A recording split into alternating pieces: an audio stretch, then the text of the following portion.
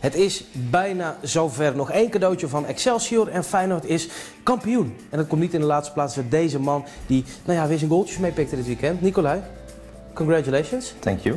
Did you understand anything I just said? Yeah, most of it. Most of it. yeah. Why did you speak Dutch yet? I don't know. I don't know. I haven't had uh, time to have uh, enough lessons, to be honest. Um, but I think uh, after summer I will. uh, I will do it. You said, yeah, next, next year I'm going to learn Dutch. You're saying, telling everyone I'm going to stay with Feyenoord, but no one believes you. No one. No. Not even you. I... no, I don't. I think No. you're heading us to Everton. No, football. It's a crazy world. So it's it's not only up to to the player himself, but from the how you say that bottom of my heart, I hope I uh, I will be in Feyenoord next season.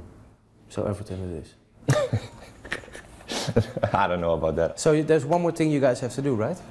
Yeah, And that is, we have to beat Excelsior. no, you have to be on the, uh, the bordes, and all the fans are going to sing their songs. Have you been training on singing the songs? I know pretty much uh, all of them. It's not Seriously? it's not fully uh, how you say that. My Dutch is not good enough, so I can sing. We're gonna try that now, right? You know no. I'm- I'm, not gonna sing. I'm, I'm, I'm gonna, I'm Never. gonna put one on. You know this one, right? This one everybody knows. Okay, Yeah. give me, give me a couple of lines. No. You're not singing this? I'm not allowed to sing for everybody in the world, I think.